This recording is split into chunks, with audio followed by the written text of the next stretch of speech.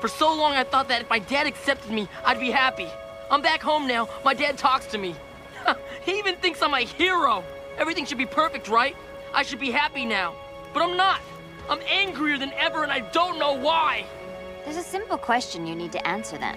Who are you angry at? No one. I'm just angry. Yeah. Who are you angry at, Zuko? Everyone. I don't know. Is it Dad? No, no. Your uncle? Me? No, no, no, no. Then who? Who are you angry at? Answer the question, Zuko. Talk to us. Come on, answer the question. Come on, answer it. I'm angry.